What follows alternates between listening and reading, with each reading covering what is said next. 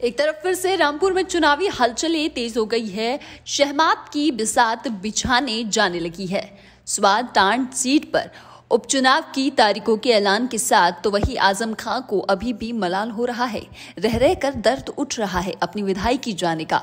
और ऐसी ही टीस तब देखने को मिली जब Azam Khan Rampur MP MLA court पहुँचे थे। वहाँ जब उनसे राहुल गांधी की सांसदी पर जाने सवाल पूछा तो आज़म खान कहते हैं कि राहुल गांधी की संसद की सदस्यता रद्द होने पर क्या बोले? उनके खुद की ही विधानसभा सदस्यता जब चली गई। आज़म भाई राहुल गांधी की सदस्यता चली गई। क्या कहना चाहेंगे गाड़ी पे अच्छा मुझे तो ये पता है मेरी सदस्यता गई।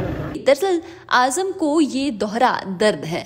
तब तो खुद की विधायकी जाने का दूसरा बेटे अब्दुल्ला की स्वार टांडा सीट से विधायक की जाने का और मामला तीनों में एक ही।